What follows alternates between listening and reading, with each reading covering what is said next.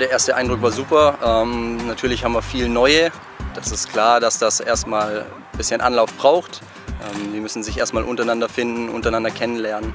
Aber ich fand, dass direkt von Beginn an eigentlich viel Freude auf dem Platz war, viel Spaß dabei war, ähm, viel Einsatz dabei war und das ist eigentlich wichtig, dass von Beginn an alle mit Freude jetzt gekommen sind nach der Pause, ähm, alle wieder schön aufgetankt haben, die Akkus und viel Bock haben auf die neue Saison.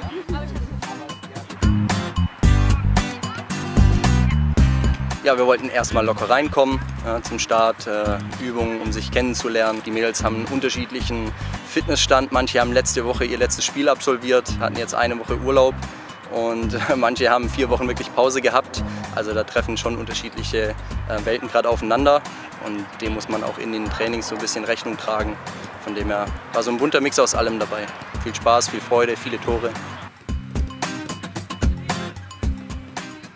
Die erste Woche wird sicherlich weiter so gehen wie jetzt. Ähm, es werden, morgen wird noch eine Spielerin dazukommen, äh, zwei Spielerinnen noch dazukommen, im Laufe der Woche vielleicht noch eine dritte Spielerin. Das heißt, die Gruppe wird jetzt langsam größer und es wird weiterhin einfach darum gehen, erstmal zusammenzuwachsen als Team, sich wirklich kennenzulernen auf dem Platz, aber auch außerhalb vom Platz ähm, auch viele Gespräche führen mit den Mädels, so ein bisschen ein Gefühl dafür kriegen, wie sie sich hier wohlfühlen, ob sie gut aufgenommen worden sind, ob man irgendwas helfen kann. Und ich glaube, da wird es wichtig sein, dass man direkt von Beginn an gute Verbindungen irgendwie knüpft. Auch die Mädels untereinander sich einfach direkt irgendwie helfen und unterstützen. Und ich glaube, das ist in der Woche der absolute Fokus.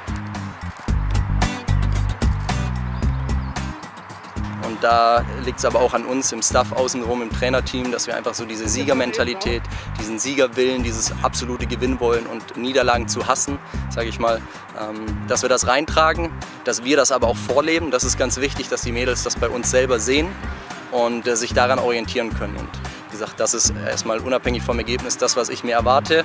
Ähm, und was dann am Ende dabei rauskommt, das wird man sehen. aber klar ist natürlich unser Ziel nicht irgendwie die Liga zu halten, sondern wir wollen äh, angreifen, wir wollen oben dabei sein und äh, so wie es auch kommuniziert wurde, klar, wir wollen natürlich im Aufstieg mitspielen. Ja, ich habe mit Henrik äh, die letzten Wochen unglaublich viel Kontakt gehabt in der Organisation. Wir haben tatsächlich die meiste Zeit eher um Organisatorisches gesprochen, außenrum. Haben jetzt dann die letzten zwei Tage ein bisschen mehr Zeit gehabt, um auch mal über Dinge zu sprechen, die auf dem Platz passieren sollen. auch das muss sich finden. Aber wir haben eigentlich schon über die ganze Zeit jetzt guten Austausch gehabt, offenen und ehrlichen Austausch miteinander. Er ist jemand, der sehr direkt ist, kommt mir unglaublich entgegen. Ich bin immer froh, wenn mir jemand direktes Feedback gibt. Und er ist auch offen genau in die andere Richtung dafür. Also da haben wir echt einen offenen, ehrlichen Austausch. Finde ich super. Er ist unglaublich erfahren, über 40 Jahre in, in, in dem Fußball unterwegs. Und äh, ja, kann ich super viel von lernen.